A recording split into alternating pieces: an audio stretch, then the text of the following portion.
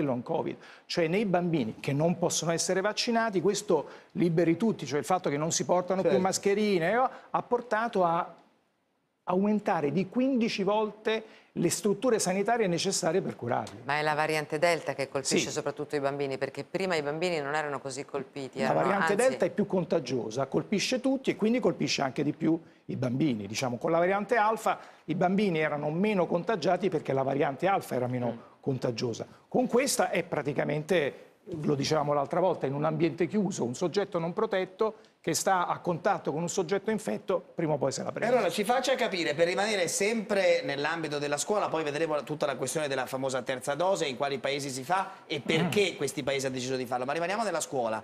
Eh, poniamo il caso in cui appunto i ragazzi non sono tutti vaccinati, speriamo di no, ma insomma in una classe gli insegnanti e il personale ATA, il personale di servizio invece lo sono, si potrà in questo modo garantire